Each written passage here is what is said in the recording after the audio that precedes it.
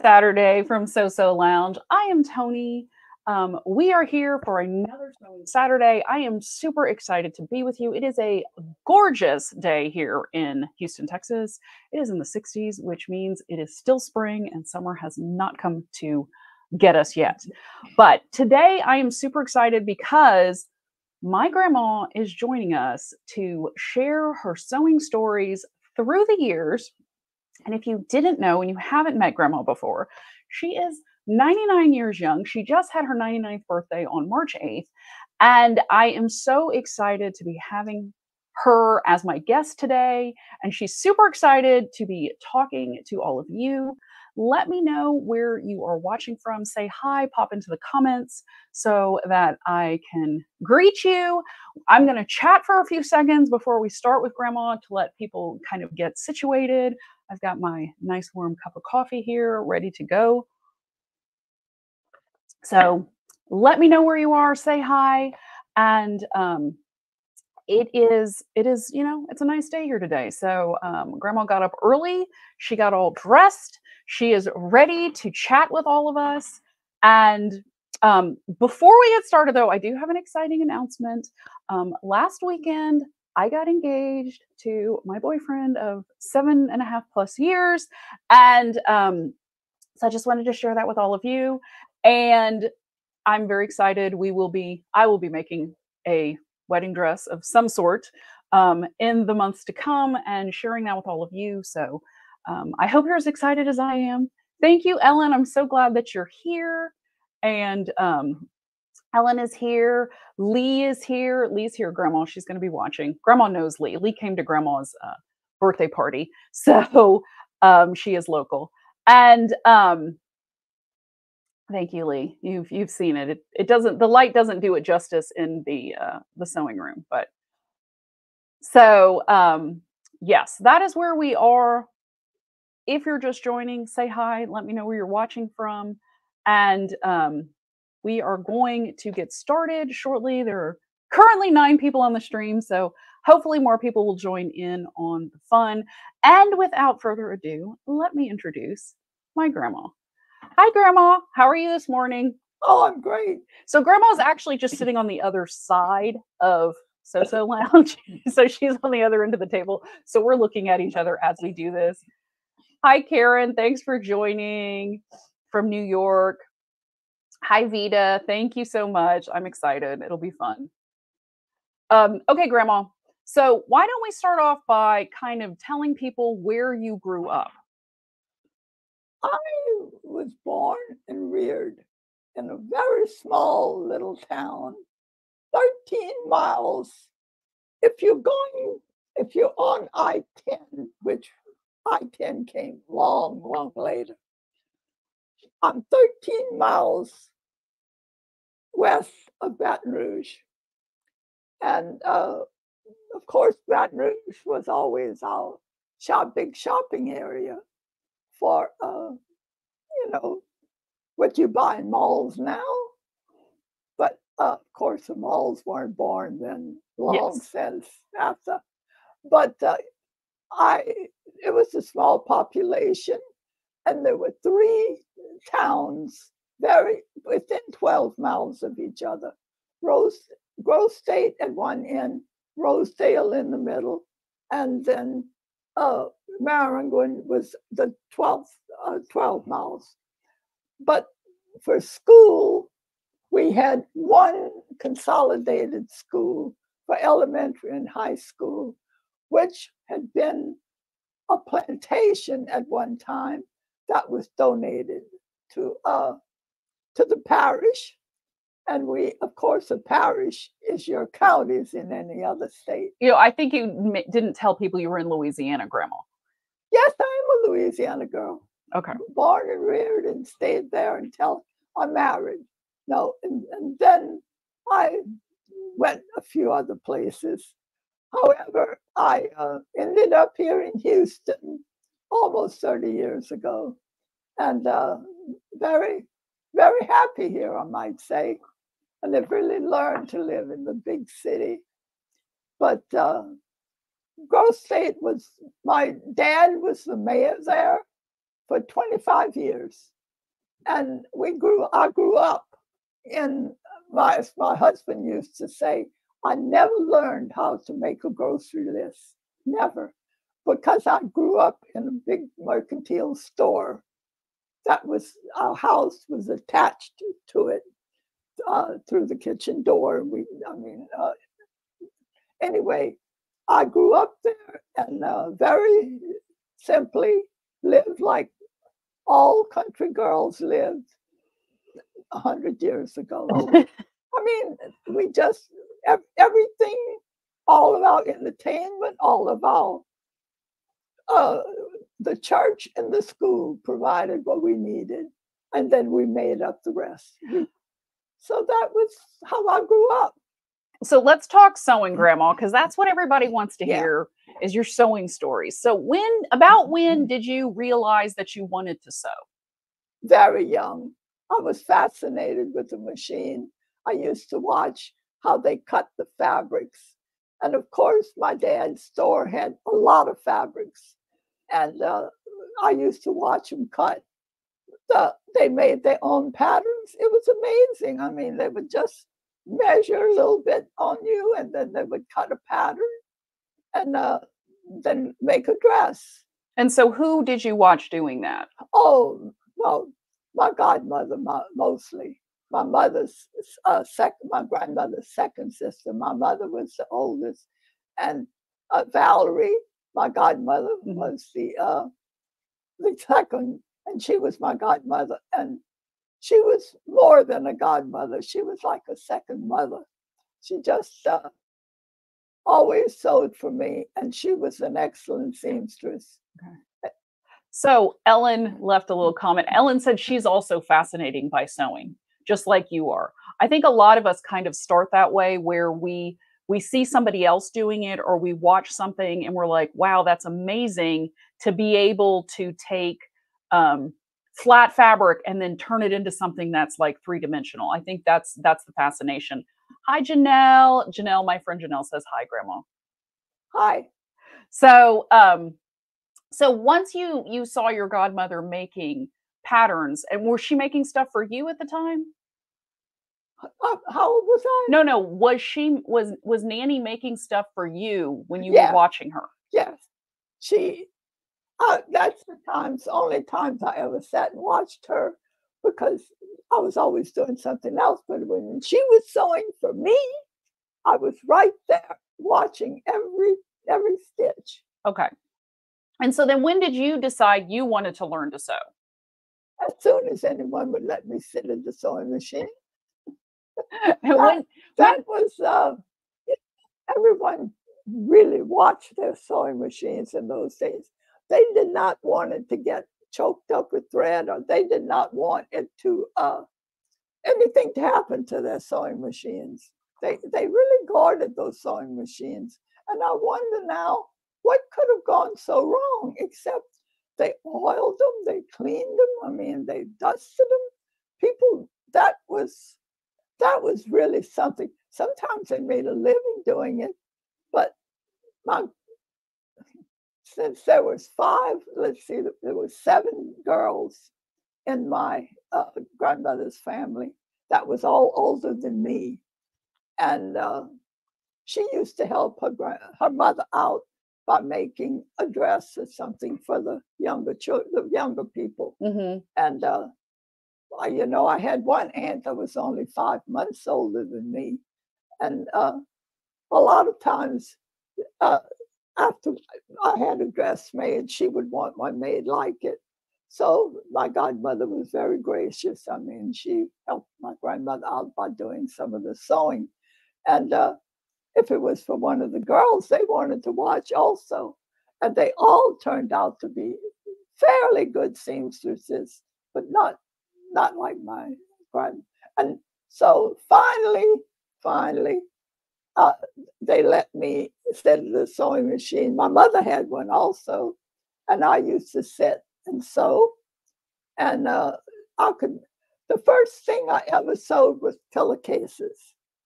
They would, and then I learned. My godmother taught me how to do simple embroidery, just a little daisy pattern, hmm and I did that. But I, w- I never did take into the uh, hand crochet and embroidery and crewel work. You just stick stuck with sewing. yes, I, I liked the sewing machine. I was never satisfied with.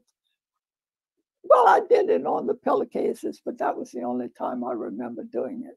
So, what kind of a machine did your mom have? What kind of a machine did you start sewing with? Was it electric? Was it treadle? No, no, it was a pedal machine also until my dad realized, you know, my, my dad really got into all this electric stuff.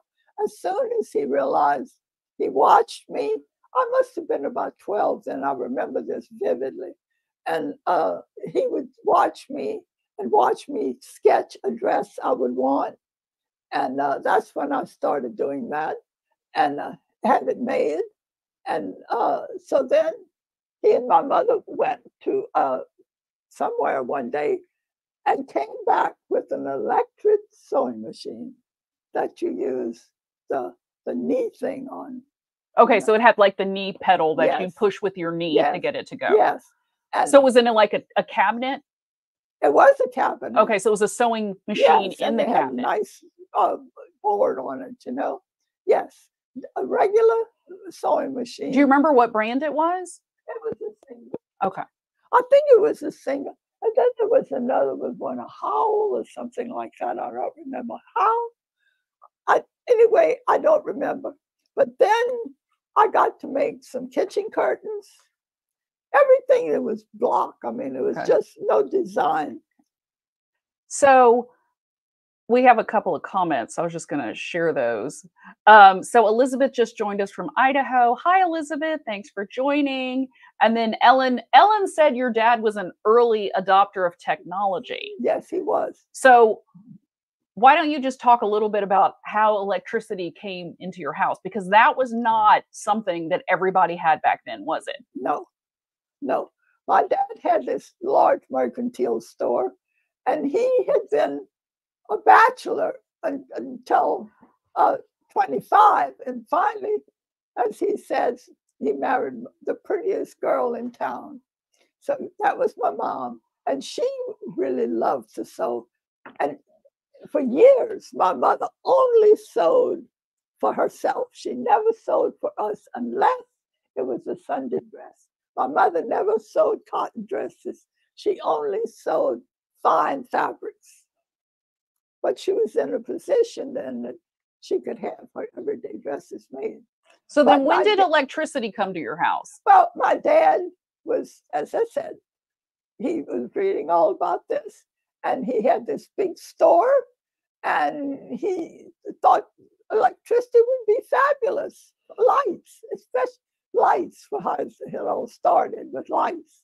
And uh, so GE, he made a, had a contract then with GE, and GE uh, they did the electricity in the store and he brought it into his house, of course. And then as the appliances became available, naturally he had the contract and they would bring the sample and we would it would be put into the house and then it would be used as a demonstrator. And they sold from that the uh, then the, as the electric ice box came into then the, the help would say, Well, what is the poor ice man going to do? Daddy said, Well, he'll find something else to do.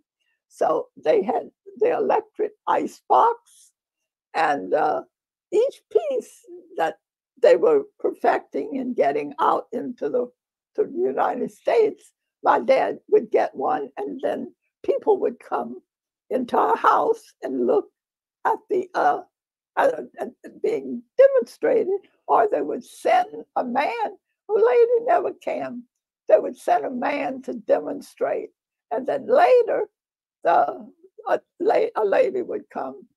Uh, I remember the lady coming and fixing a whole meal, and they invited the people who were interested to come and see how it would be cooked with the different. And that was with an electric stove? Yeah, it was the electric stove. As I told you, the electric iron was the thing that most people had someone come in and iron for them.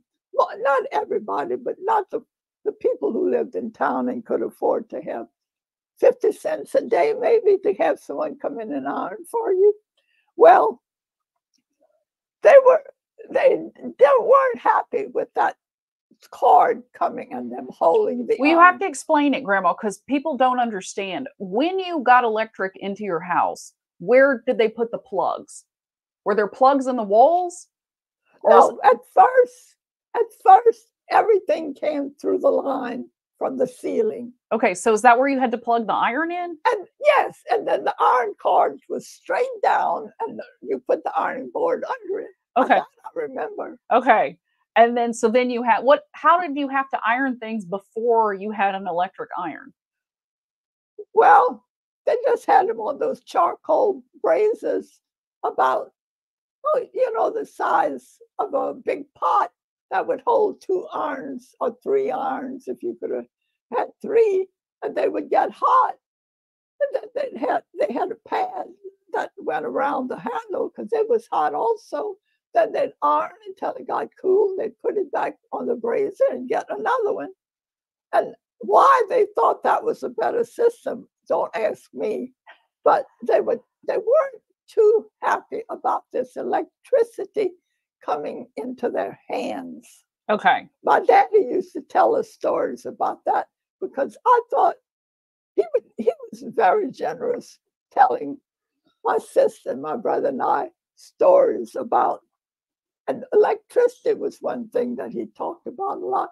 And of course, for him, it meant adding machines, it meant bookkeeping machines, then it just become big meat uh, machines. I mean, uh, refrigerators for the store.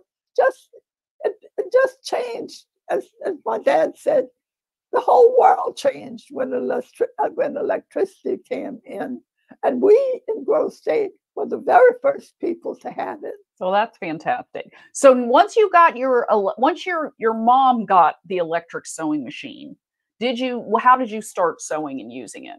Well, she just let me use it. I mean, I was, as I said, 12, 13, maybe getting up.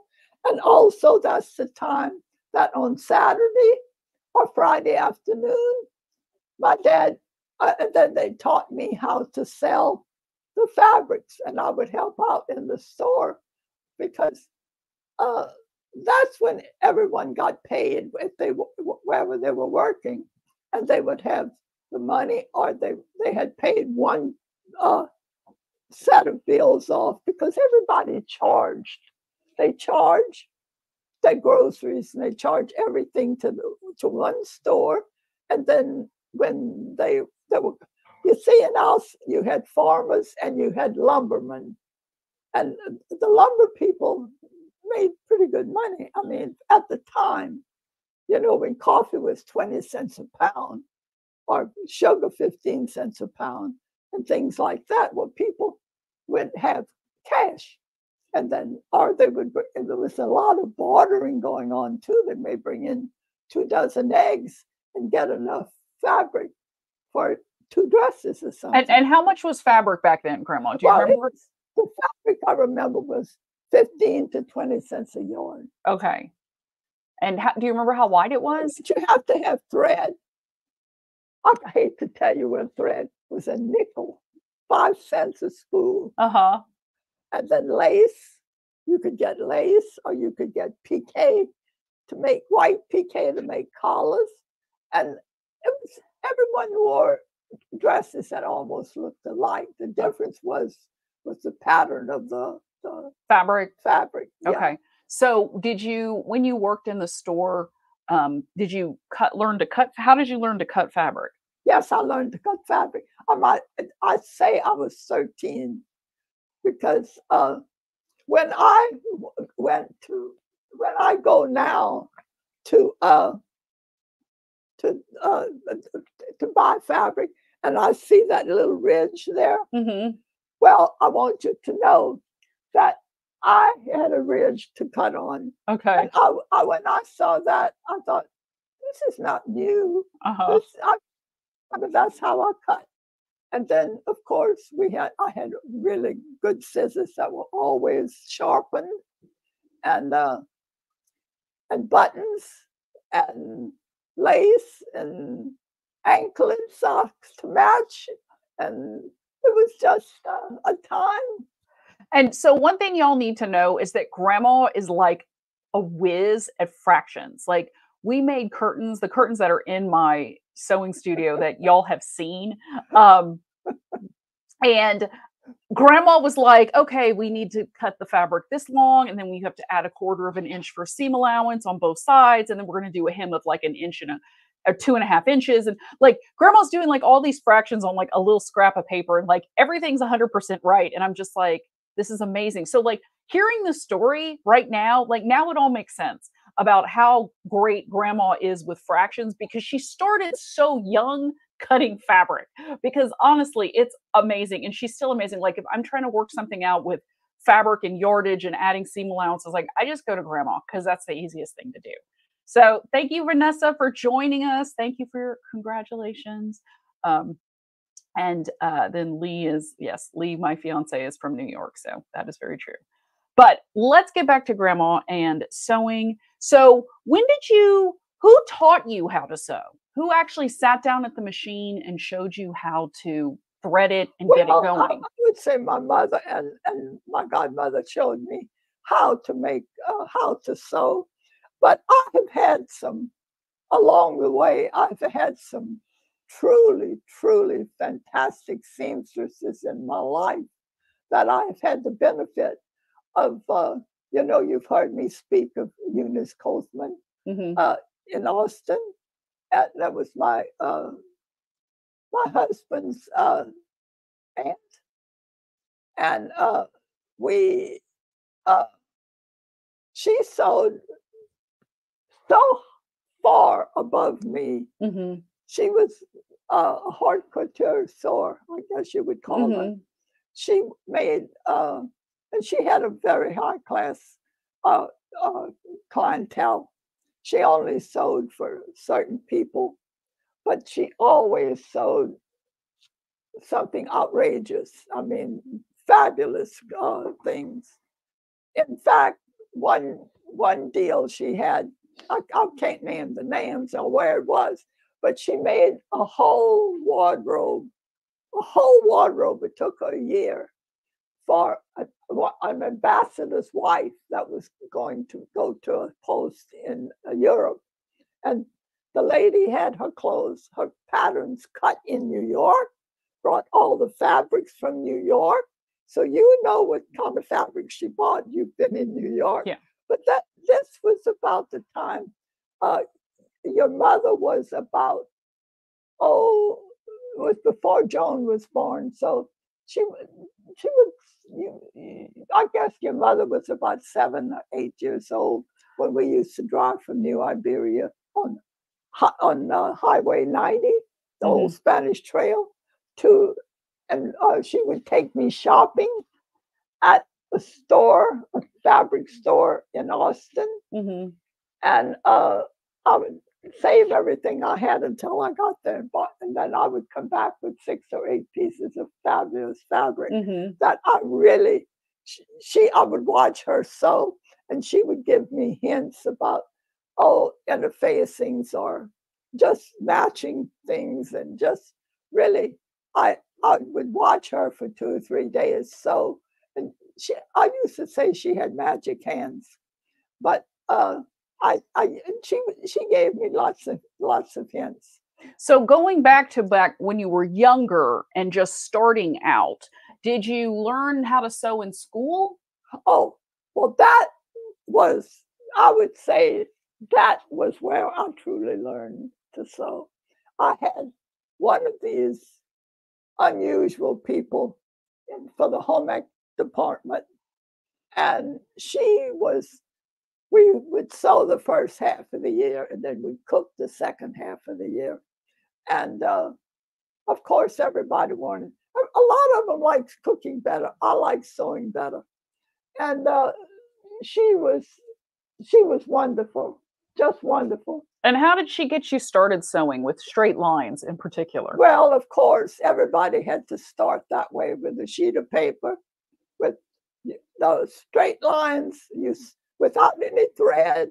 you sew on the on the straight lines, and then you had to do the uh, the inner circle like this Mhm. around, and that was to teach you how to do your sleeves and what have you, and your collars. But uh, and it was the hardest thing was when you had to make the turn to keep the needle in the cloth. Mhm. You cannot take the needle out. Once you take the needle out, you've lost you've lost it. So uh, and and, tha- and that was hard. But and then of course she had blocks where you could sew to the end, stop, keep the needle in, turn the fabric or the paper rather, and go. And she would just hold it up to the light and could grade it that way. but uh, that that didn't last long. I mean, she she only did that for a while, and then we then to, to graduate we had to really make a tailored dress, a real tailored dress. so when did you start taking? When did you start with her in school? How? What grade were you in? Do you remember? when I what grade I was Mhm. in, well, that was high school. That- Okay. that would have been yeah the year I started high school because home economics was only available, and I took it the four years. Okay. And but the last year, she left us to get married. How dare she left us to get married? But then, poor the poor girl who came, uh, we all felt I felt sorry for her. It was her first year out of college, and she came to teach a bunch of real, almost professional sewers because uh, Miss Lawrence, Sue Lawrence, had really, really given us a fabulous uh, lesson in and uh, making bound buttonholes and making all types of uh, sewing. I mean, uh, and you could advance. I mean, you could buy a pattern and bring it. And of course, well, she wanted to see what it was going to be before we bought it. But uh, anyway, and people, she had one, uh, she had two pattern books on her desk. One was a Butterick and the other was Simplicity. And we could select something from those two books to sew. And so when did she did she have the patterns in those books, or did you then No, have to no, like have the instructions to make your No, own? we, pattern? we'd have to, no, we never made our own patterns. Okay. No, no, we could pick the pattern and she would, she knew instinctively if we could do that. you Okay. She knew her students. hmm So, and so then the year we were seniors, my best friend who was who was with in my wedding, she and I picked the, same pattern hmm and we made, and it was inset the the collars. I mean, it was it was difficult. It was it was a difficult pattern, and uh, but we both we both made our dresses and they turned out real nice. What you what kind of grade you get, Grandma? Well, you're going to embarrass me, but I always made an A. Of course you did, Grandma. I did. So then, did you continue sewing after high school? Oh, absolutely. I mean, yes. Oh, tell tell everyone the story about when you decided you were going to make some culottes. Oh, well, the culottes came out and I had seen them. So And I this had is when you were in high I school, had right? seen them in the store. Yeah. Okay. So I I wanted to get the material to make them. So I got a double sheet of newspaper. I mean, you know, two together of the center. And then I figured out I had a short pair of shorts pattern and I put the shorts and then I took the rest of the newspaper and folded it over to, to make the pleat that you, that you put right on top of the center seam Mhm. of the, the shorts. You sew it down hmm so it, it hides the shorts completely. hmm So my dad was he was always always nosy. He was always coming to see what we were doing, what I was doing with the sewing machine, because I stayed in the sewing machine practically. That was my pastime. Okay, hmm we didn't have TV. We didn't, and I didn't care about the the radio that much. I'm I've never I wasn't a radio fan unless it was the LSU game. So anyway, I did it, and I thought, you know, this is going to work. So daddy said, Well, why don't you go select your some fabric and let's see if it's gonna work. So, and you know, at that time, there were no, this is important, there were no back zippers. And if anyone's close, I mean, remembers anything, the, the zippers were on the left side of, I mean, there were no back zippers. Finally, the miracle of the back zipper came in dresses. But for years, it was the side, the side seam. Well, that's why almost every dress before that buttoned up the back or Mhm. buttoned up the front Okay. because I was, I mean, there were no zippers. I was around before the zippers were. so So when do you remember when when you first used a zipper? Were you still in high school or was it later? no, I wasn't in high school. I graduated from high school the year Pearl Harbor was December 41. I graduated in that June of 42. Okay. We were the first graduates after Pearl Harbor. And so, so, that gives you some where about where I was. and so then when you were making these culottes, then what happened next? Did it work? Yes, it worked. It worked. Miracle of miracles. It worked. And my sister fell in love with the idea. Oh, she loved the culottes. So I made her culottes. Uh-huh. And then gradually she started sewing. She started sewing after me. And she never, she had to have a pattern. I made, I would get one pattern and especially the bodice, and then I'd make the skirt any way I wanted to. hmm And that's what I did after I was married. I would sew. Well, I'm getting ahead of myself. but Okay. Let's let's take some comments. Cheryl says she loves the stories. And then Kelly says, Grandma is so sweet. You're very blessed to have her. So people are enjoying your stories. So wait, you have to tell the best part about the culottes, though, of how you decided you were going to wear them to school and what your dad Yeah, yes, but I, I wasn't allowed to wear them to school. Daddy said you can't wear shorts to school. I said, but that is like a skirt. But Daddy was said no, so that was it. I mean, he was very generous, very modern, but no shorts to school. No matter how I mean, I camouflaged them. No, no, that didn't work. But my sister, through the years, kept making culottes. And then when she became the golfer, but she was a golfer, Mhm. she used that duck I told you. I think you said it was duck. Yes. Yeah. and made her several pairs. Well, they became the hit of her her golf association. So anyway, uh, she was busy, so I made her a couple of pair and uh, gave them to her for her birthday, and so so she'd have them for the spring, and uh, and I made one in yellow. I'll never forget That's So that was her favorite color. I made one in yellow and one in not red. She would, would well, it was sort of a rose color, but it wasn't red. I remember that. Anyway, she she she would warm all the time Mhm. because that fabric never wore out. She, That's right. just- she just used it and used it. And uh, anyway, So then moving on, once you finished up high school, what what kind of things did you keep sewing? Did you just primarily sew for yourself? well, when I really got interested in drawing the designs and what have you, and and uh, I got ready to go off to school, and I made my one enormous achievement was a beautiful striped uh, fabric made out of, uh, I mean, just a nice fabric, but all pastel colors. Hmm and I, I, I designed me a dress, and I still think about my dress. I wore it and wore it, and I had a pattern with gores, but I decided I cut the gores down the pattern, just literally cut it Uh-huh. so I could make more gores out of them. I think it was four anyway.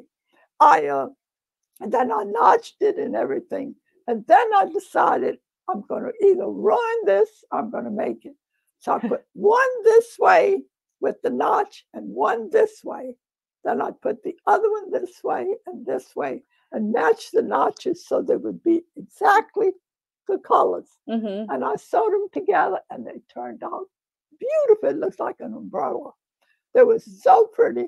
And then I had just, uh, I always wore these round necks with the, because I had all the, the darts in where I liked it. Uh-huh. And I used almost, I did use the same bodice a lot. Uh-huh. And then I made the, the sleeve with just one uh, thing right here. Uh-huh. And I had a plain striped top. Uh-huh. And then I had a band about this big that went around sewn on. Mm-hmm. And then, of course, the zipper on the side.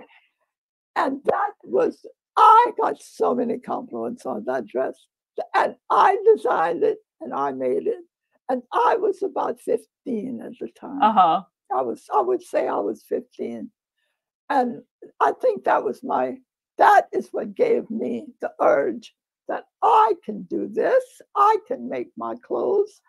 And I did.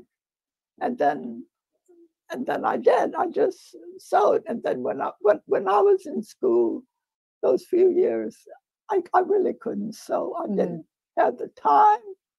And this uh, is when you were down in in your bookkeeping school in New Orleans? in, in New Orleans, yes.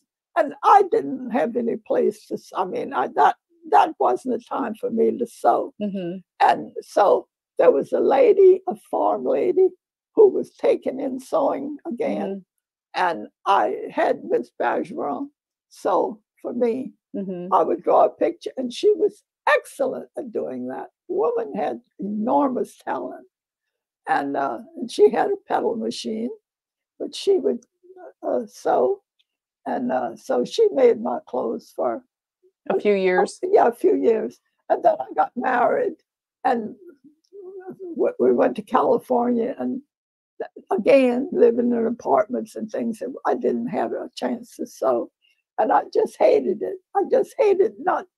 I'd have to go in and buy a dress, and I, I it would it would just kill me because I just never could find really what I wanted. It was just a time in my life that I was almost dormant of sewing. How many years was that? That was too many years. uh, and then I married, and again, when I would have to go home to sew, and uh, Johnny was real good about that. He would take me in anytime he had something, and then, of course, then I had your mother, and I began sewing for her. I made her, I would say, a dress a week. Then I got into sewing for her. It Mhm. was just, and she was so adorable. Anyway, I dressed, I made things for her. So where were you living at that time? So when Well, you and uh, we were granddaddy living, we were living in a house trailer because we were moved. He was working in the oil field along the, the Louisiana coastline, and we would have to move almost every month. And trying to find apartments on the coast like that was impossible. And with the baby and the young, my dad said the only thing you have to do is become one of the gypsies so I he- anyway, he came to one of the apartments in New Orleans and he said, You cannot live like this. So we got the trailer and uh, we lived we lived that way for seven years, Mhm. believe it or not. And then uh, but before I got out of the trailer, your mother was we were living in Houma, and then my prize featherweight came into my life. My machine. That is true. Okay. So let me just let me just pause before we go for this. Um, Ellen just put in a little comment. It says it sounds like sewing really brought people together, it was a real bonding experience. And we don't really have that as much anymore, which is a shame. You and Grandma seem to be kindred spirits. Yes, which we will get to why Grandma and I are kindred spirits because I spent so much time with her. But that's a little bit later in the history. So now Grandma is going to tell us about her prized possession um, that my grandfather bought her. So, Grandma, what what was the best present Granddaddy ever gave you? Well, one of the best presents. Okay. he gave me so many wonderful presents. He was very generous. And uh, anyway, the, we lived in the little town of Houma, Louisiana. hmm and it was sing it was, it was a nice nice little town they had a nice main street shopping hmm everything was main street shopping for many years and uh, so then uh, we would drive by there and she's always had a big mouth anyway she would say mommy you don't want a sewing machine for christmas do you and i said well, that would be very nice, Kay. Well, maybe Santa will bring you one. She was about four and a half or five. So we so we went along and she said, so but still I was surprised. I I I just it was $150. And because I had looked at them and Now, what kind of machine are we talking about, Grandma? we're talking about my featherweight. Okay. and it, was- and it was so compact and so great that but that machine has been many miles and it has sewn many many miles i have made dresses i have and this sewing machine had all kind of attachments Okay. So when did you get it? Did you get it for Christmas? i got it for christmas And how did Granddaddy pay for it? he paid for it he had it put, put it on layaway Uh-huh. and he paid for it out of his spending money, I guess. I mean, cigarette money and different. But what a man, what, I don't know how he paid for it. I never asked, but it was on layaway. And Kay knew it was there. Uh-huh. She went with him because he wanted her to see that it was going to be my present. And and anyway, they were close like this. Mean, when her dad was available, if he left, she went with him. Well, sort of like you when you- when, when you were little. And so anyway, she and then mom used to send me yards of fabric just in a package. Uh, and then I and I just had I'd go in. That's all we did. We, we would go to two places to get a new uh, golden book or a piece of fabric, or we'd go look at the fabric store, Mhm. and I'd let her s- select some of the fabric she wanted, and then I. But she, the dresses, she hardly got to wear them because she was wearing a uniform to school Mhm. and uh, but the dresses I that I made, my sister had three little girls, stair step little girls, and you know, and so after Kay had worn them a while, I would give them to Pat, and then her three girls would wear them out because I mean they're too on a budget, you know. Everybody, when we first got married, everybody was on a budget, especially when you start having the babies. Well, I only had one. And uh, so, anyway, I spent every minute, and then I would make something for myself occasionally. So I'd have, no, I, I sewed for myself too. So do you remember the first thing you sewed on the featherweight? I'm sure it was a dress for Kay. Okay. And then right after that, I remember because it was in the winter, and I got, I had had a piece of pink flannel, I mean wool, Mhm. not flannel, wool, and I didn't know what to do with it. In fact, my this is a part of the story that was that I told you that who had the magic hands. Uh, we used to go to Austin. Well, she always had fabric. She was another fabric uh, fiend. she gave me this piece of fabric, and I had had it, and I made Kay a pair of coveralls, overalls, not coveralls, overalls with a little strap with a button and a little jacket. I didn't have enough for an overcoat, but I made her a little short jacket. Uh-huh. And that was my first real attempt at making anything tailored Okay. and it turned out so nice. So I didn't put the buttonholes in it because I wasn't too good. Well, we were it just so happened we were planning to Jo- Johnny was going to take me to uh, uh, Austin for my birthday. hmm So we waited, and then I brought the jacket with me. I brought what I had made, and Eunice showed me how I could have made it a little better. hmm And you know what the whole secret was? Was clipping. Ah, And the whole secret around the getting it the tops. And she said, people are terrified about clipping, but clipping is what really makes tailoring work. that is true. So if you don't know, clipping is when you have a curved seam, so like in a neckline, um, or, Or- a collar, Or or a corner. Um, it- you clip it, or like you cut the corner. Um, cut the corner so that when you flip it, you've got a nice sharp point. But then you also want to clip along the seam so that when you flip it, it, it there's some a little bit of ease in there. It's not fighting against itself because it just got clipped. So that's that's interesting. That's fascinating. That Aunt Eunice is the one who taught you how to to do that. Yes, it was it was Eunice. She took it apart. She uh, on the bottom of him, and she took it and she says, "You- "You've done a really good job, but you didn't clip." And she said, "Your seams are straight. Everything is nice."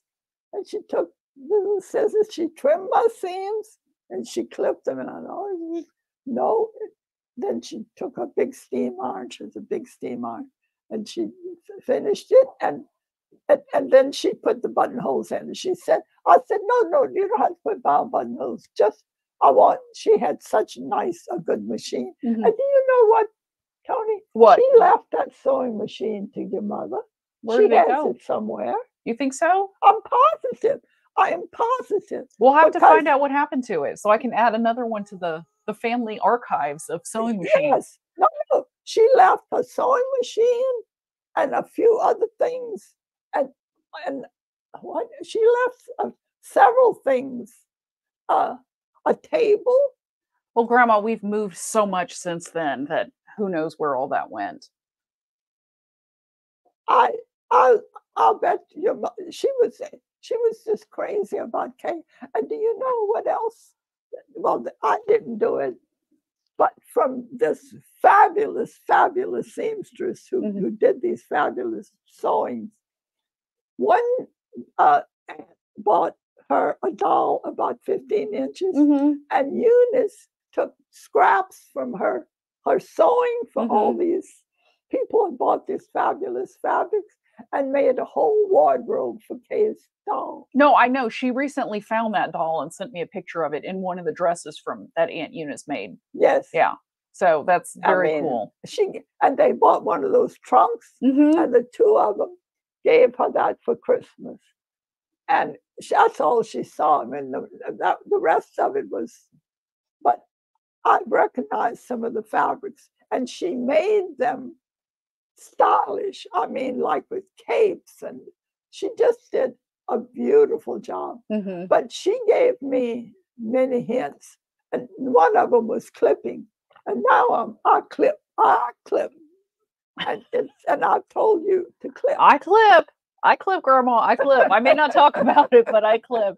Yeah. So you know, it's one of those things that. So when you okay, so after, um, when did you build the house in New Iberia? How old? How old? 19, we moved in on nine- 1957 Okay. uh, on the first day of the year. And then you did you make anything for the house? Oh, yeah. Well, I made everything for the house. I did decorated Kay's uh, room, uh, and uh, our bedroom, and all on sale fabric because we didn't have the extra money to. But and then the living room, I put all of the money, extra money. That's when I had those beautiful silk curtains to match the walls, and I I made curtains for the kitchen and kid. I got fabric. That's a, that was one of my uh, extravaganzas. I bought the fabric to match the wallpaper, and that was a fad at that time. I remember The that. fifties. Oh yeah, you had to buy the fabric to match, and the fabric was really way overpriced. But I only had a small window. So, so was that part of the whole collection? They made the wallpaper and the fabric and everything, and then you could coordinate. Waverly, Waverly made probably the best. And they made the wallpaper to match with the fabric to Almost, match. And Yes, they would have two or three wallpaper books, fabrics to match. oh, very cool. Very Yes. cool. It was nice. So It was nice. And and uh, as I said, uh, fabrics was. I mean, I, that was my biggest interest. Notice notice. We know. We know. So when did you uh, move down to Venezuela? we moved down to Venezuela three days before uh, Joni was uh, Joni was two uh, on the 17th of August, and we arrived on the 15th of August, and we stayed six years. We arrived back home the spring of 1964. Okay. And so then did you take your featherweight with you? I took my featherweight with me, and I made several things for for Kay. What'd you make? Oh, dresses, dresses, dresses for Kay. And I didn't tell you this, but when Kay was in college at LSU, and then when she went to uh, for the summer as an exchange student to, to Mexico City, I made dresses for her. Mm-hmm. And Joan and I used to watch that girl Mm-hmm.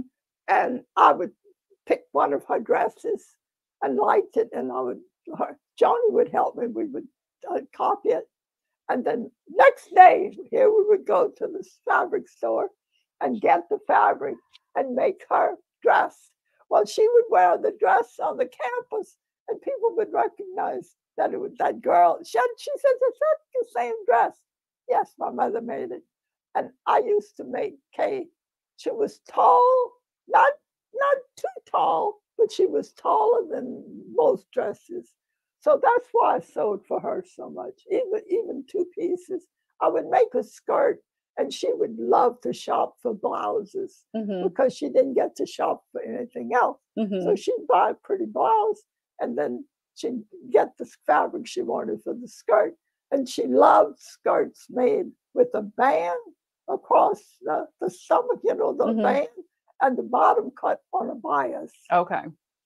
And I made her a number of those. And uh, she had lots of clothes, but made on that shift pattern, similar to it that was coming back now, Right. but more fitted Mm-hmm. and I had a pattern that fit her perfectly. Mm-hmm.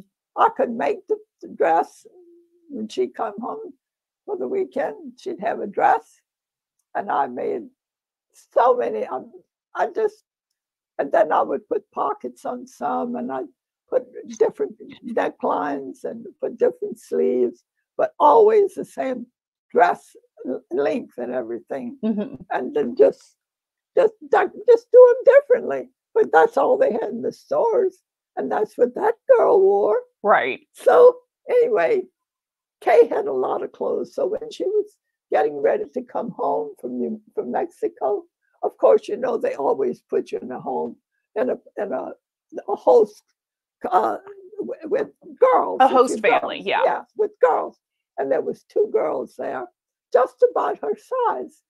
So she wrote me a letter and she said, Mother, they're just so crazy about these dresses. Is it okay if I give them one? I says, It's okay if you give them two. I Mhm. said, You warn them and uh, give them each two because she must have went down there with 20 dresses. It's a lot of I dresses, Grandma. know, she went, really, I overdid this. But, and I was sewing a, a- a navy blue and white stripe one, Mhm. little stripes. And Johnny came in, he said, You only have a few. I was almost through with it. He said, You almost have a few hours. She's going to miss the plane. I said, No, I'm through with this. I'll clean up the mess later. That's So- pretty funny. So grandma started the weekend sewing challenges um, that I like to do as well. Get something sewn, like have an event, make a dress, and get it done in like you know two days. So grandma grandma started that. It's in my genes. Um, I didn't even know that that grandma had these these marathon sewing Well, sessions. wait, can I can I tell them you that you may have told this story already though about you sitting at my feet. We're not there yet. So when did when did I start hanging out with you, Grandma? Well, your mother was teaching and I was keeping the, light, so we got pretty well bonded. But then, How old was I when that started? Because Mom Anna wasn't born yet. So oh no, you you no, you were uh, no when you were there, your mother was teaching. She was pregnant, and no, but I'm talking about later on. You would sit at my feet, mhm, and I, but I had been sewing for you mhm. for a while. One of these uh, tuck dresses that I made. Uh-huh. Anyway, uh, you would sit, and I gave you had a little pair of scissors, and I gave you a piece of paper with lines, and I told you to cut it straight. Well, one day you said to me, "Grandma, Grandma, look, I cut it right on the line. I stayed right on the line, and I looked down there, and you had taken my tape measure." And you had cut it in one inch pieces perfectly. So my tape measure was there at my feet. I picked you up and I said, "Well, now." and that was your first compliment on sewing. Well, I think that's why I probably can't really explain how to cut straight when you cut because I started so young cutting little pieces of paper and then grandma's tape measure because that's what she had me doing while she was sewing and I was sitting at her feet under the table. So, um, you also back then you took me to fabric stores, right, Grandma? With Oh you? yes, I took you to fabric stores early, and uh, I took you shopping and uh, showed you pretty dresses and things Mhm. like that, and uh, to Goudchaux's in, in Baton Rouge, and uh, you just uh, you just grew up looking at fabrics and touching fabrics. She let me touch the fabrics. That's part of the problem. and making dresses for occasions. You had great aunts getting married, and you had to have a new dress hmm for- to wear. And I, uh, because there was a group there, you know, Yeah. and uh, so anyway, you just, uh, you would just, it, seems like that's what I did most with you. I didn't cook with you. Mm-mm. I didn't bake with you. We sewed. We we I was well, there was two little girls. I had four girls to sew for. Joni, Kay, and you and Anna. So when you have four little girls to sew for, you're kind of busy well, the sewing and, machine. and grandma gets busy. So Joan is my aunt. So my mom and my aunt were Joan and Kay. And, you know, obviously that was when they were younger. Yeah. And then once Anna and I came into the picture um, in the 70s, late 70s, then, you know, grandma had little dresses, more little dresses to sew. And I need to point out that grandma like does like these beautiful, like I still have, my mom called me recently and said that she still had my first communion dress that grandma made which like the whole front piece of it is all like little tucks with inset lace strips. Do you remember that? And then there's like I don't I it's a I know it's a full skirt and there's a big bow that ties in the back. But I don't and I know it had like little um, pearl heart-shaped buttons down the front. And had a little round neck and had little white puff sleeves. And I think I was 8 when I wore that. Um cuz we moved to Belgium when I was 7 and I know I so I was probably about 8 Mhm. and um, and then my sister wore it because you know she was younger and a little bit now she's taller than I am but at the time she was you know she was smaller than I was so when she, it came her turn she wore the same dress. But we did find that recently and it's just I mean it's a marvel that uh, grandma was fantastic at tucks I mean like I I, I don't sew tucks I just I don't have a reason to and grandma just like masterfully sewed tucks and puff sleeves and little gathered skirts you remember that grandma Yeah. And you know, I took my sewing machine to uh, Venezuela when we Mhm. went. And two of my very dear friends, you know both of them, Jackie Cannon mm-hmm and Vesta Poe, mm-hmm both got pregnant. mm-hmm And finding maternity clothes was not easy. Well, but fabrics in Venezuela are abundant. I mean, Okay. so anyway, we would go. I would go to the market. I was the only one that wanted to go to the market and where where the fabric was. So they let me buy. So I bought fabrics, and I made them each two maternity dresses Mm-hmm. on my little fe- featherweight.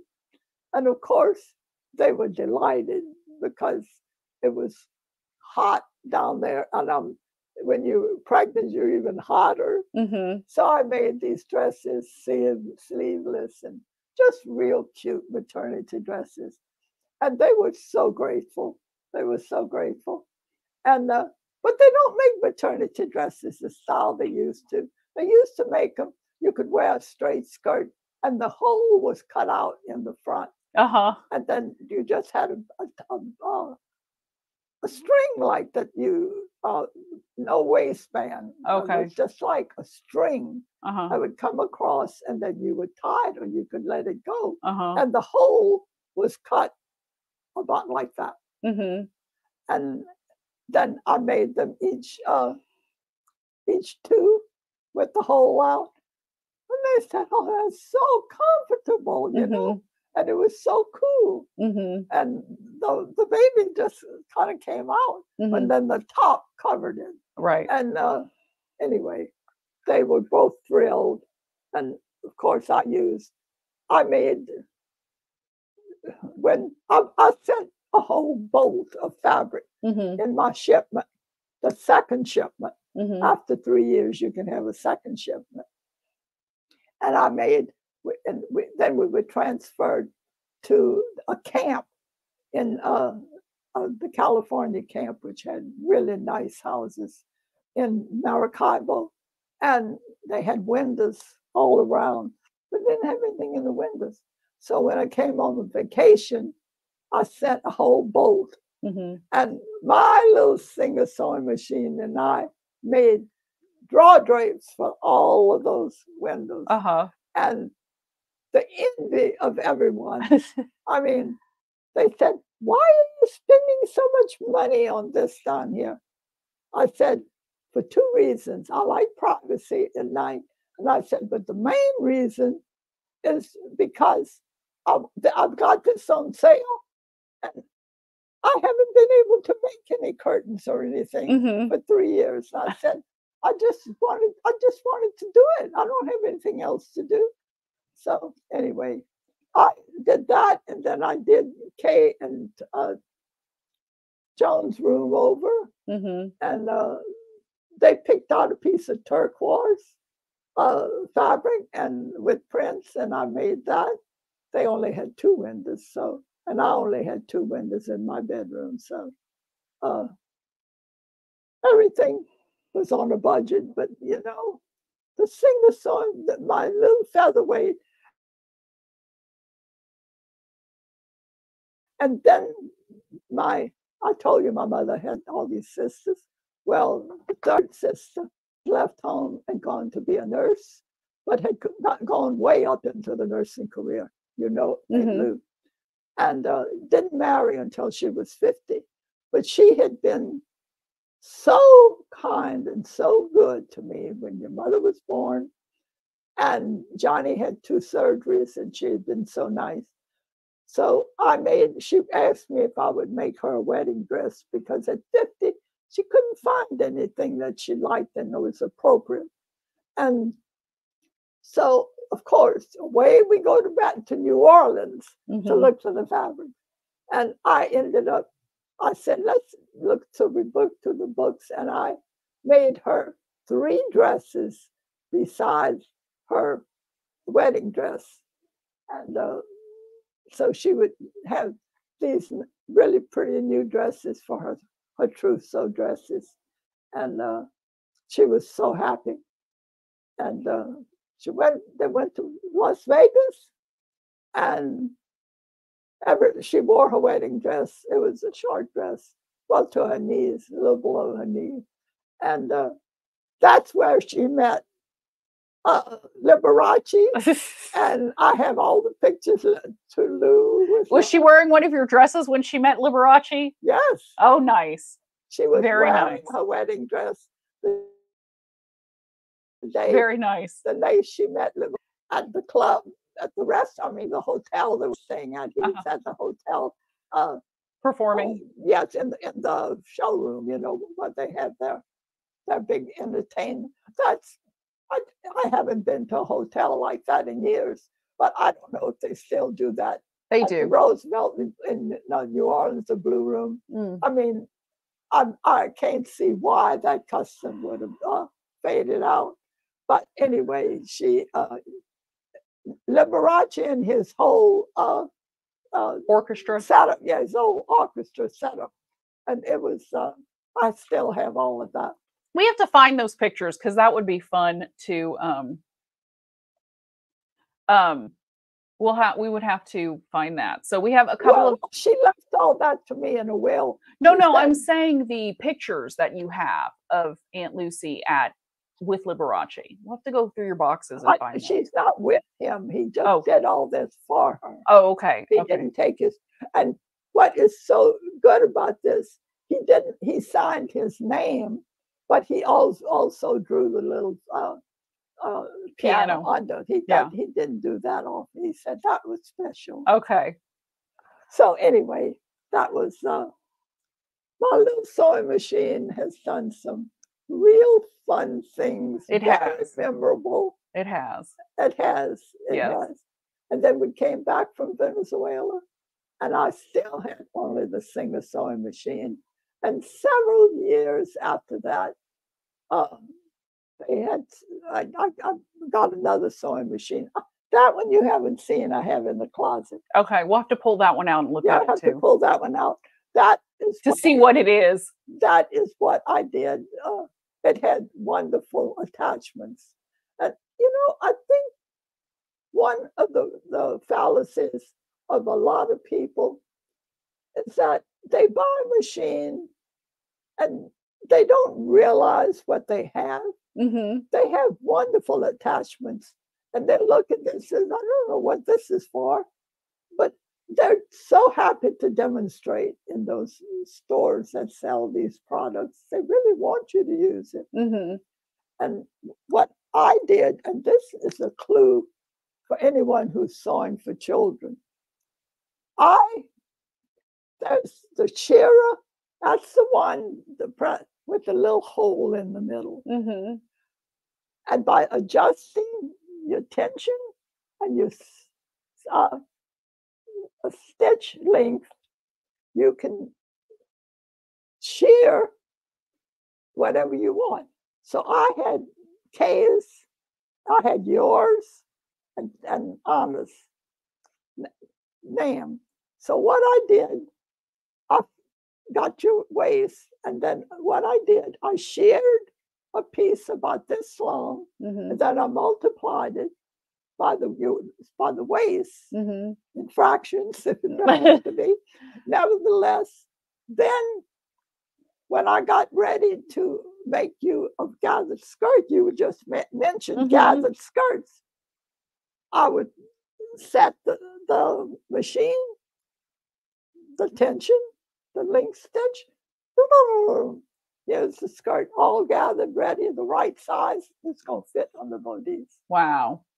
And I, I was wondering what I did with that. It might be in a, a box somewhere. And I did It's it. for sure in a box somewhere, Grandma. and, and in uh, and for the sleeves, hmm I did the same thing.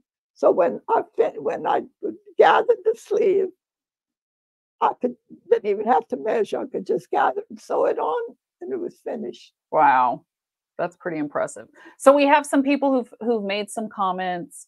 Uh, Vanessa really has enjoyed it. She's enjoyed hearing your sewing journey.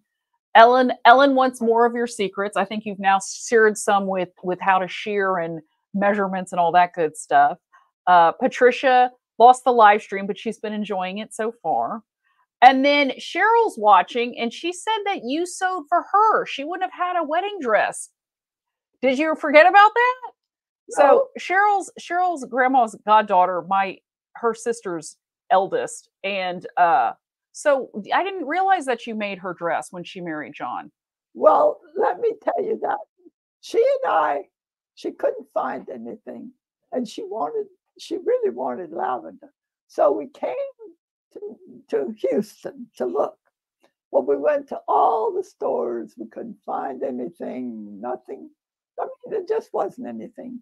So we went into this store and they had this long dress.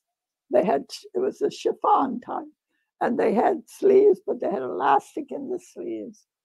And it was a long dress. And, but I saw the potential, but it was an ugly dress. So we bought it, we brought it home, and then I started I cut it off first, the length she wanted, to give me some fabric Uh-huh. to start sewing with. So I took the, then I made a wide band for her sleeve Uh-huh. and put the little covered buttons here. So that changed the sleeve from just elastic to a very elegant sleeve, a mhm, bride sleeve. Then we took, uh, then then we made the uh, the skirt shorter, mhm, and uh, uh, they had a zipper up the back, but then I put covered buttons up the back, mhm, and we made it very bride-like, mhm. and uh, just altered the dress to uh, to look like a bride. That's very And, cool. and I think we and- we put another belt on it, a, a tie belt, and uh, then she got her shoes tied to match, and uh, she just looked very, very pretty and very bride-like from this ugly dress. But it had, I saw all of the potential when I saw the dress, uh-huh. but she didn't see any of it until I started showing her what we were going to do. And uh, if I'm not mistaken, I think it was embroidered on the bottom. And I, th- I think that's what we made the cuffs out of. And I don't quite remember all we did, but we did alter the dress to fit her real well through the, the bodice. It wasn't all bluesy. It was, the fabric was there, the design was, uh, and anyway, she did look very bride-like and very pretty on her wedding day. Well, that's that's awesome. I didn't realize it because I was seven when she got married. So uh, for the second time. So that that I did not know. So thank you for sharing that story, Cheryl. Because I remember how she looked? I remember it was it was purple. Like I that's what I remember as It a little kid. Yeah, I mean, I remember really liking the color because it was purple and I thought it was pretty, but I don't specifically remember the dress. So we'll have to dig out Well, a you photo. wouldn't have seen it before, you see. And, Right. uh, I wouldn't have seen the before, but I mean, I remember the dress. I thinking that it was very pretty and it was purple because that's my favorite color. So New- and in New Iberia, up over at the specialty store, they did. They had all these machines years and years old when women used to make all their clothes. Mhm. They covered buttons. They made buttonhole. I mean, they made buttonholes. They made uh, all types of of uh, accessory type things you needed, Mhm. and uh, really professional everything. Belt, belts with buckles, Mhm. and uh, I used them many times. Many. So, times. because because the thing we need to remind everyone of is that back in the day, sewing machines, when you started sewing, there was only one stitch. You only could make a straight stitch, right, Grandma? With your very first machine. And the featherweight only sews a straight stitch, right? Or does it sew zigzag? Zigzag. So zigzag and straight stitch, Yeah. but that's it. You- There is no buttonhole feature to Oh, you had stitch. to buy the buttonhole maker. Okay. hook it on. And then, oh no, you could buy it at camp, but it was a big piece of, uh, that about, about five inches long and hmm about three inches wide. And it was heavy. You had to hook, they had a hook on it you had to put on the back of the, where you would put the presser foot. hmm You had to put it on there. And then you had to adjust it with screws hmm and uh, get it. They had the numbers hmm put and I got that's what I why I did not do the buttonholes on my little pink jacket I made. Okay. That's why I took it to uh but she she had something that made buttonholes. I, Eunice was so different Uh-huh. from anyone I had ever seen so because she had, as I said, she had magic hands. Right. But anyway, she was, uh, it was, it was just an experience to know her, and she was just an. Now, my godmother had, she, could really sew. I Mhm. mean, she really could, and you know, she could do handwork Right. She did a lot of and- crochet and and knitting and all and that kind of stuff.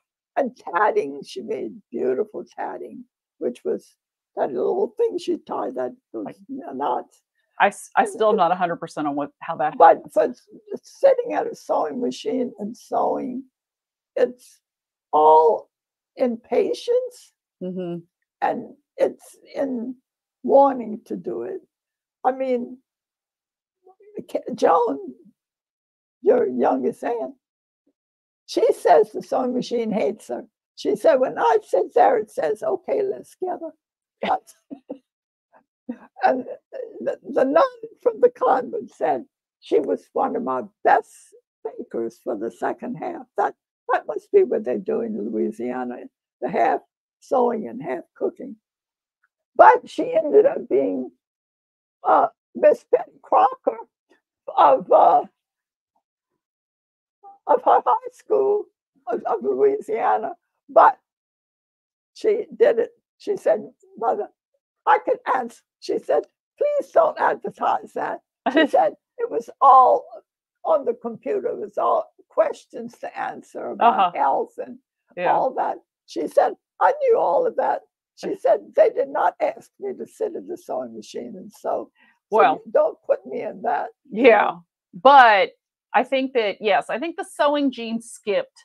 Um, Cheryl earlier earlier left the comment that the sewing gene skipped over her, and then Lee agreed that the darts beat her up. So um, I think that it's funny um, that uh, Lee also said that she's with Joan on the sewing machine. She feels like the sewing machine's out to get her too. so and then uh, just going back to some of the comments um, cheryl said that she she thought her dress turned out beautifully and that she wore it until it basically fell apart so um, i think that with sewing i think that everybody who's tuned in can agree that it's one of those things where you have the opportunity to make something completely unique Yeah. that is just for you and the you know. color you want. and the color you want it's like it's like finding finding the dress even if you know like you find a style you like and then saying but this color isn't my color or i think it would look better in Yeah, this that's exact- and that's one of the reasons why i use a lot of prints because i love printed fabric and i love the color variation and i love mixing prints because that's just kind of how i express myself and that's that's what makes me feel like me and so that's one of my big sewing things so grandma do you have any oh wait no one thing we have to talk about before we start winding down is the obsession with fabric so when If you sew, you are you have an obsession. It's true. And when I was so we talked about when I was little, grandma used to take me to the fabric stores and she'd put me into the shopping buggy and let me touch things as you know she pushed it around Yeah. the store. And back then fabric stores only sold fabric, right, grandma? And they had all the fabrics. They had all the different types of fabrics year round. It wasn't like going to fabric stores now where they only have like a few of the types of fabrics and if you want something specific like, you know, lawn or you want corduroy in August, you can't get it. No, you these these stores, and they would have uh, a spring sale and a fall sale maybe, but it was uh, and usually the things that they put on sale were not there. There wasn't five yards. It would be lucky if you had found three yards. You know, Mhm.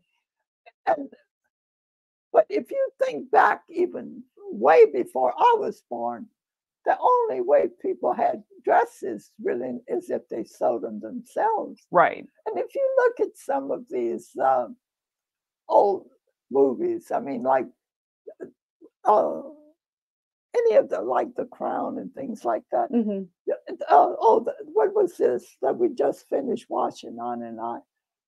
That was part of the fascination for me. Mhm. They showed them going in and having their dresses made. Oh, what was that? The, the, not the Gilded Age. Yeah, the Gilded Age. That's what Uh-huh. you were watching. and the, especially the, the the young girl, and she would she always having a dress made, always having a dress made, and I in every every uh, series, I mean every week, or whenever it came on, every week she was having one or two or three.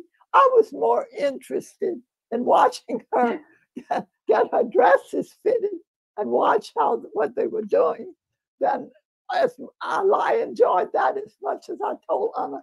I'm enjoying this as much as the story. And Anna didn't quite get that. that I would enjoy watching the construction of the dresses being fitted as I watched the story. I have to say, I do enjoy a movie where they are doing fashion stuff and they're actually doing real Fitting. fitting. because that's just really fascinating to me. And it doesn't happen in a lot of movies, but occasionally you can find some movies, and I'll think about it and maybe we'll chat about And that another this time. one has a lot of I haven't seen the Gilded Age because that's something Anna and Grandma watched um, over at Grandma's house, but I was not there. So, um, but fabric stores aren't like they used to be. They used to be. I remember being younger. I mean, I remember in eighth grade we had an eighth grade. We had two eighth grade dances. So we had one that was at school the last day of school, and then we had another one that was a formal um, eighth grade dance that was at like the local country club up in North Houston. And I I didn't remember the part of going shopping and trying to find a dress with grandma and mom, but grandma was telling me about that not too long ago, how we couldn't find something that I wanted. And so then grandma came up with the idea of, well, why don't we go see if we can find a pattern you like and then buy fabric? And she made my eighth grade dress. So um, I have a picture of it somewhere. That I'm, is one of my masterpieces. is that I'm one of your masterpieces? terribly proud of? I will have to find it. I want to say it's in the it's I have it somewhere. I just have to find it. Um it was let me describe it for you. It was a it was a what do you remember the brand? it was it was a Oh, it was a pink Jessica McClintock pattern, okay? And it had a scoop neck and then it had like a I thought it was a low cut back back in the day. I could still wear a normal bra with it, but it was just the scoop in the back was just above the bra. And then it had these big now keep in mind this is 1988. It had these big puff sleeves like tall puff sleeves, okay, that were fitted at the elbow and then they had there was lace at the bottom a beautiful piece of lace. beautiful lace and then it kind of i think it did it have It like fit real tight. it fit as like a bodice and then did it have a v in the front did it come down in a point at the front of the bodice no. no it was just round and then it was a full gathered skirt No, not gathered. it wasn't gathered what no, was it okay grandma was- made it she knows it was big pleats. And Big it was pleats. so difficult. What I did, I had to put the fabric pattern out again and pleated the that's a, something you can do. If you have something really difficult i took the pattern out again pinned it all together and put it before i sewed it on. And then i had all of this fabric on my long dining room table and i folded with the pattern and then i would take the pattern off and pin them. and that's the way i got all of these very very intricate uh, pleats around this. But it turned out gorgeous. You will look like a princess. I did look like a princess i'm not gonna lie. I do not remember how that Pale was pink. attached. It was Pale pale pink. taffeta. moire taffeta. Yes. Pale pink moire taffeta with cream lace and i had my hair pulled up um, on the sides and it was all curls and then i had like little pink rosebud barrettes with like little ribbons hanging down. 80s guys it was the it was 88 it was i was like totally on point for the time period. So um that was that was my adventure with grandma and i got to pick out my fabric and we found the pattern and grandma measured me and she made everything and my dad was happy because it was cheaper back then to make a dress than it was to buy one at the mall so um, i know he was happy about that and then my other dress that I loved, and I don't know what happened to this dress. It was this really cool knit fabric that was kind of this pop art. So it was very graphic and it had a whole bunch of different patterns all mixed onto the same piece of fabric. And grandma made me a knit dress. It was sleeveless and it had a round neck and then it had a dropped waist, which was my total favorite. And and then it was it was just gathered on that, right? But it was a drop waist. I love a good drop waist. Um, also 1988. And, and your mother always loved drop. I love to drop waist because I don't like anything sitting at my natural waist. So drop waist is more of a, my natural waist. And then I had I had this cool headband, like, and then it tied over my shoulder, and so I kind of I don't remember. I think I probably had a ponytail because I always had a ponytail, but I still wore a headband. So, um, yeah. So Vicky said that she hasn't sewn anything substantial for a few years. She used to sew everything she wore, and she sewed a lot of clothes for her sons when they were little. And now you make her feel like sewing again, Grandma. And then Janelle said she loved the Gilded Age series. She watched it too. And Ellen wants to know if we can see pictures next time of the creation. We will dig through things and see if we can find them, Ellen. And I might post them in the community well, tab. I, I, the little dress, Probably the first one, but it's it's it turned yellow, but it wasn't. It was white. We'll find something. We'll have a we'll have a retrospective at some point. I know I have pictures of my eighth grade dance, the pink dress. I don't know if I have any pictures of the other dress because back then everything was film and you know you would get dressed and go do something and if it wasn't super super monumentous occasion nobody took pictures so um unfortunately but we'll see what we can find and and share that with you and then grandma um when grandma moved out of her house in louisiana and this is when i was in college this is after my grandfather passed away um she mo- decided to just move to houston because that's where everybody was i inherited a lot of fabric because grandma loved fabric and I love fabric. And that's one reason I love fabric, I think, is because I inherited all that fabric from you. If you sew, you you buy fabric. You do. Anticipating you're going to do something. And but sometimes you don't get to it, you know. That's true. That's true. Something comes before it. Right. That's more important. And then the fabric sits there and you, you know, you, you really hadn't forgotten it, but you just don't think about hey. Hey, I forgot fabric. I started organizing mine again and remembered I had stuff. So my goal for this year, and I am going to continue to work on this, is to not buy new fabric and to use what I've got because there's a lot of it. I love it. I want to make stuff with it and I want to wear it because that's just kind of the best part of it is being able to make whatever you want. So, Grandma, do you have any last minute tips? Things people must do that will help them sew better. Well, not, not really. It just that uh, it just depends on your fabrics. That's just remember you you've got to follow the, the you don't have to follow a pattern exactly. If you have an idea, use it. I mean, that's the idea of sewing.